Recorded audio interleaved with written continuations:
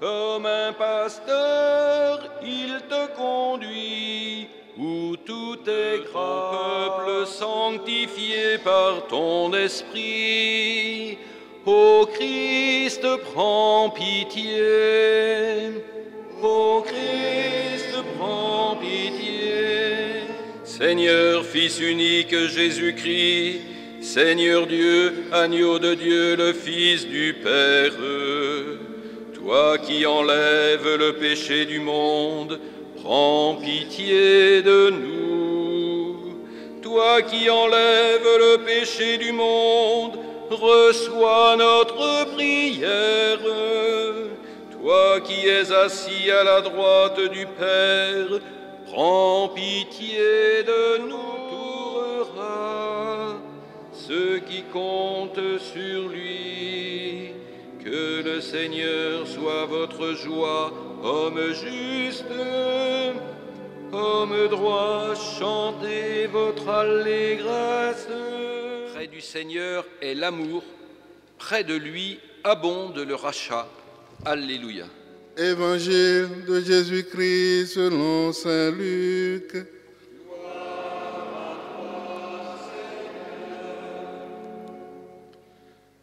En ce temps-là, un pharisien avait invité Jésus à manger avec lui. Jésus entra chez lui et, prit place à table. Survint une femme de la ville, une pécheresse. Ayant appris que Jésus était attablé dans la maison du pharisien, elle avait apporté un flacon d'albâtre contenant un parfum. Tout en pleurs, elle se tenait derrière lui, près de ses pieds, et elle se mit à mouiller de ses larmes les pieds de Jésus. Elle les essuyait avec ses cheveux, les couvrait de baisers et répandait sur eux le parfum.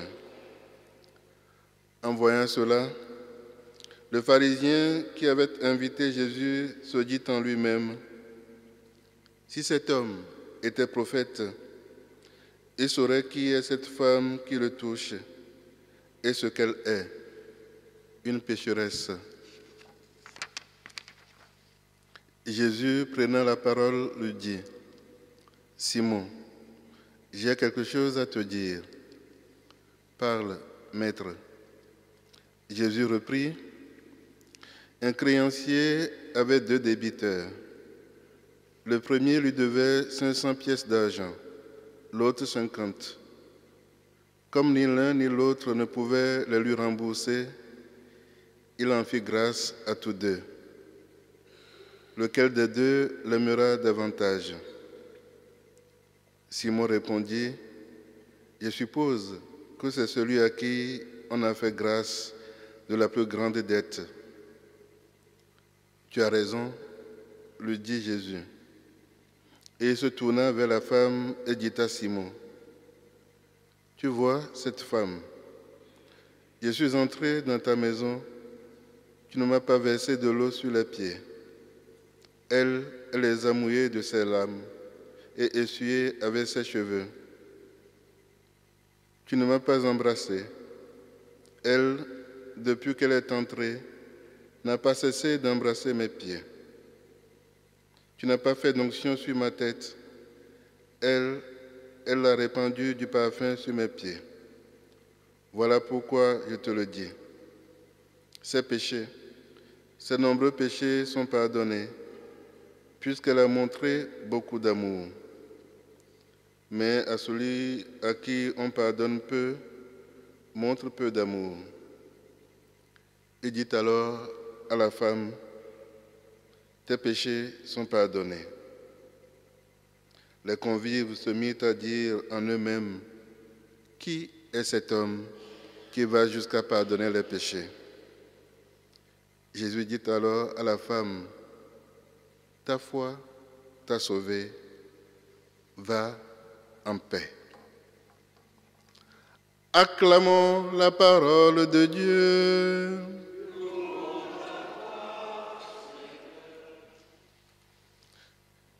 Nous avons au cœur de l'évangile de ce jour la figure d'une femme, une femme qui a perdu l'honneur selon le monde et qui n'existe plus comme une personne. Cette femme a pressenti qu'elle pouvait encore donner quelque chose à Jésus.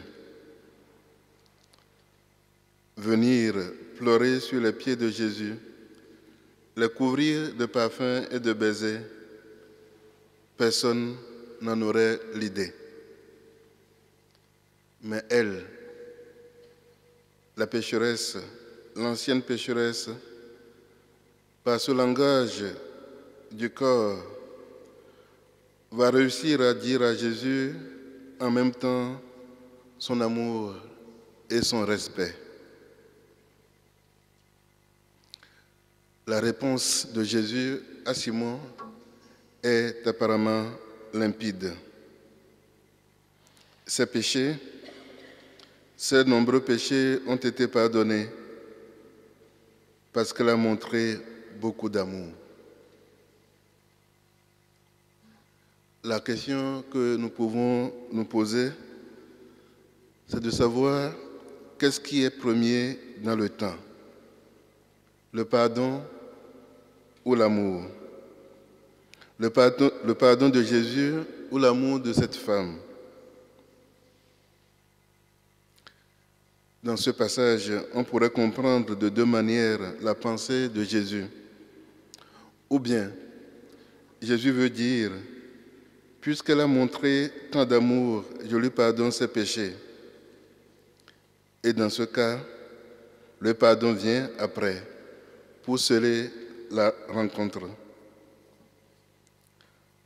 Ou bien, on renverse la perspective. Si elle parvient à montrer tant d'amour, c'est parce qu'elle a fait d'abord l'expérience du pardon. Et dans ce cas, le pardon est premier. Il est au point de départ d'une nouvelle qualité de l'amour. Et je pense que c'est dans ce dernier sens que va la parabole proposée par Jésus à Simon.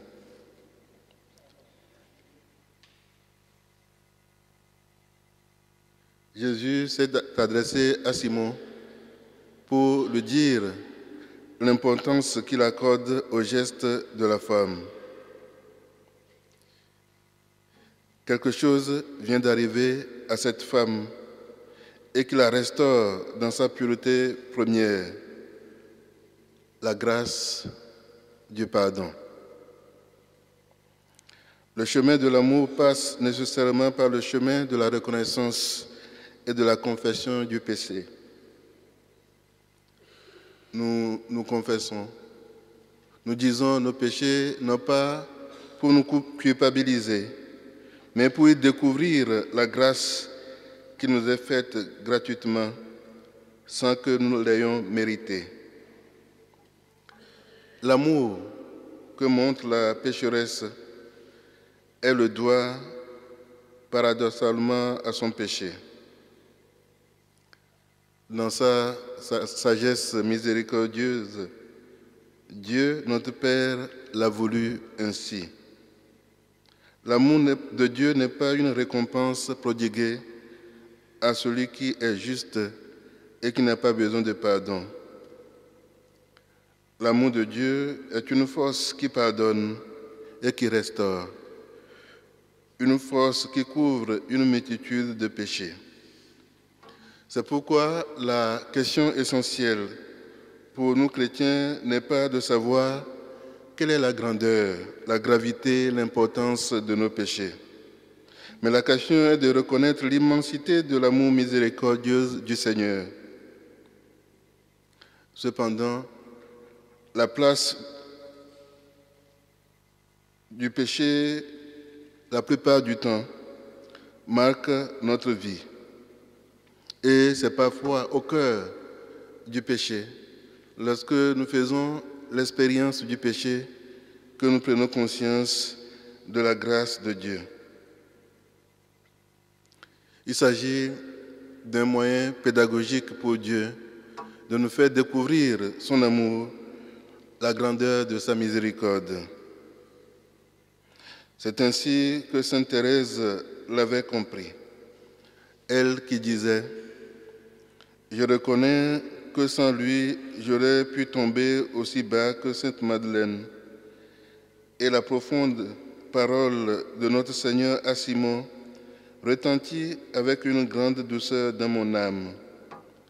Je le sais, celui à qui l'on remet moins aime moins. Que nous soyons comme la pécheresse pardonnée, que nous soyons comme Sainte Thérèse, objet de l'amour provenant du Seigneur. L'important pour nous est de reconnaître l'œuvre de grâce, l'amour miséricordieux qui pardonne nos fautes ou nous prévient de tomber. Pour être admis tout à l'heure au festin de l'Eucharistie de l'amour, la question n'est pas de savoir si nous sommes de grands ou de petits pécheurs, mais de nous souvenir que nous ne sommes pas dignes de le recevoir et qu'une seule parole de Dieu suffit pour nous purifier. La preuve que Dieu nous aime, c'est qu'il nous accueille encore aujourd'hui tels que nous sommes, alors que nous en sommes indignes, pécheurs toujours davantage pardonnés, restaurés et purifiés dans l'amour.